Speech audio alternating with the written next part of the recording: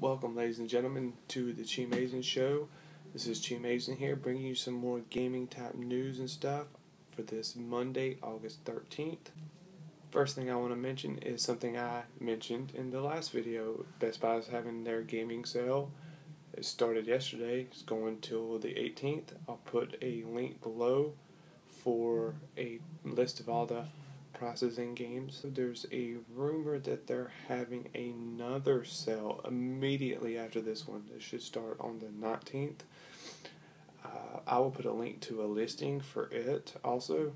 The quality of that is significantly better than the, the previous sale.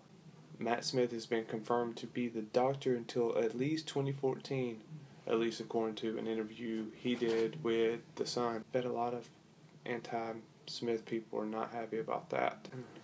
Nate Wells tweeted that he is joining Naughty Dog. You may remember Nate Wells from a story we did last week. He was the art director of Bioshock Infinite. He's left Irrational, and now he's found a new home. Battlefield 4 is going to stay modern, and a quote, We still want to be in this genre, the modern day as it is. I agree with that. I would, would like for Battlefield 4 to be modern. PlayStation All Stars has been delayed until November 20th. A post on the PlayStation blog says this will let us spend more time tuning and polishing the game. I have friends that were in the beta, they weren't too impressed, so hopefully they'll put that time to good use. And speaking of PlayStation, Sony's Jack Tretton weighed in on his feelings on free to play and social gaming and how they're not the future of gaming. He is quoted as saying, "Is a business I think a lot of companies are learning is hard to sustain for the long term, and there's a place for social and free uh, freemium, but it's not going to replace the business models that are out there." While he probably is going to receive some flack for the way he said it, I have to agree with him. I don't really see free uh, freemium or social games completely replacing. I see them more as an additive to the current system. And, You know, it's an alternate thing you can do. You can play some of these free games. You play some of these social games, but I think we're still going to be paying sixty dollars for a game, uh, for especially for these bigger games and such. Neo Geo X Gold launches December sixth. This is a portable Neo Geo. I don't know how many people remember the Neo Geo. It's going to have a 4.3 inch LCD screen, game card slot that's going to be preloaded with 20 games, I think, and a console station to plug it in with HDMI support so you can play on your TV. For this joypad, it's a fairly big joypad, and it's going to cost two hundred dollars. Yeah, I don't think I'll be getting one. I don't. I don't care to pay two hundred dollars to play some Neo Geo games. But for people who are big Neo Geo people, there you go. Diablo 3 patch 1.04 preview. Uh, not really going to talk a whole lot about it. I'll post a link in case you want to check it out.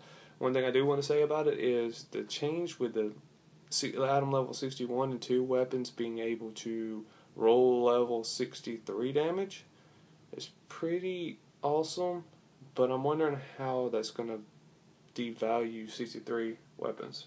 We'll have to see. Epic Games now wholly owns People Can Fly.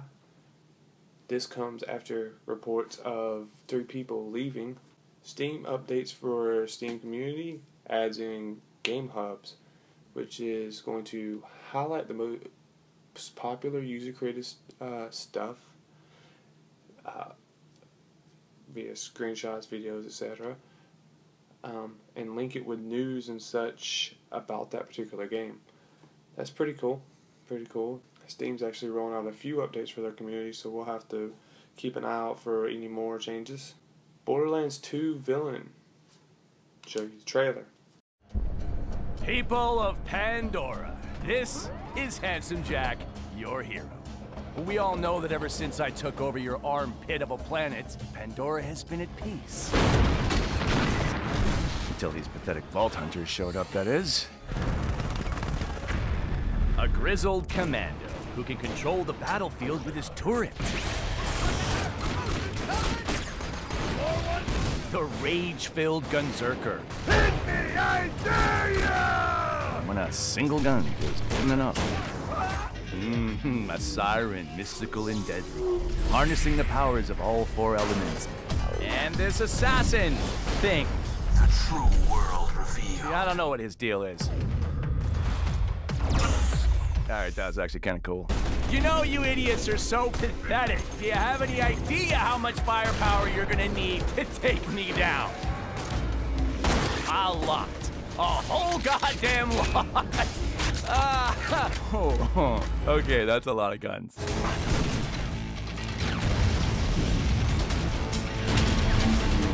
But sorry, kiddos, you really got no chance. Because I've got a few tricks up my sleeve that I, well, I wouldn't want to spoil the surprise. Suffice it to say, Vault Hunters, I'm gonna kill you.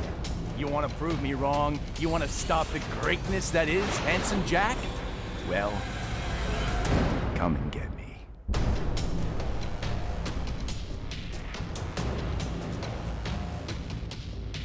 Shit's badass. And last bit I want to cover is the alleged 720 dev kit selling on eBay. This is supposedly the same guy who's been leaking Durango picks and the, the Kinect pick. According to him, he had two of them. He sold this one for twenty thousand. That's insane. Twenty thousand dollars for something you're not even sure if it is a dev kit. Not to mention the whole fiasco that could just come from because Microsoft could easily come in and say, "No, you can't have this," because technically you don't really own dev kits they're loaned to you. Not to mention the fact that more than likely it's fake. And someone just got suckered for $20000 but we'll definitely have to keep an eye out for that. And that's all i have today. I will see you guys wednesday